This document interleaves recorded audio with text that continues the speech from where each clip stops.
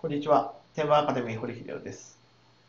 今日は Amazon セラーアプリのですね、日本とアメリカの国の切り替え、どうやって切り替えをするかについてご説明します。まず、まあ、日本でもアメリカでも左上にですね、この3本線があります。ここをクリックしてください。そうするとですね、えーこういうふうに、まあ、日本だったらこういうふうに出てきます。一番下にサインアウトっていうのがあります。英語でもね、えーログアウトっていうのがあります。そこをクリックします。そうすると、えーログアウトするとどこの国にログインしますかということで、この国が出てきますんで、えこれでね、日本に入りたいときは日本を選ぶと。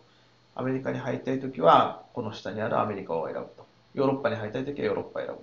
そして、えーログインすればですね、えー自分の使いたい国の、えー Amazon セラーアプリに入れます。入れますというか、アプリそのものは世界共通で使えます。